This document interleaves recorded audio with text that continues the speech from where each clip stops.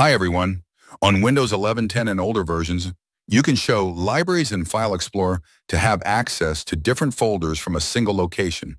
In simpler terms, libraries on any version of Windows are virtual folders that gather files from different physical locations and present them as a single collection, meaning you can have files from your hard drive, external drives, or network locations appear in one place. The key benefits of this feature include a unified view of specific file types, documents, pictures, music, etc., in one place regardless of their actual location, and the ability to add or remove folders from libraries to tailor them to your needs. Also, it's the only way to add custom locations to backup files using the File History feature.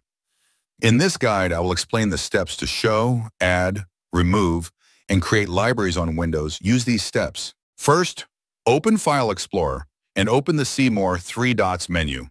Next, click the View tab and click on Options.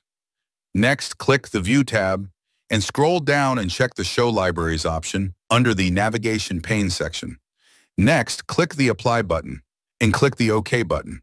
Once you complete the steps, the Libraries feature will appear in the left pane with the default groups for documents, music, pictures, and videos. If you're watching my video for the first time, please make sure to grab the subscribe button to get the thumbs up and turn on your notifications. So you never miss an update. See you in the next video.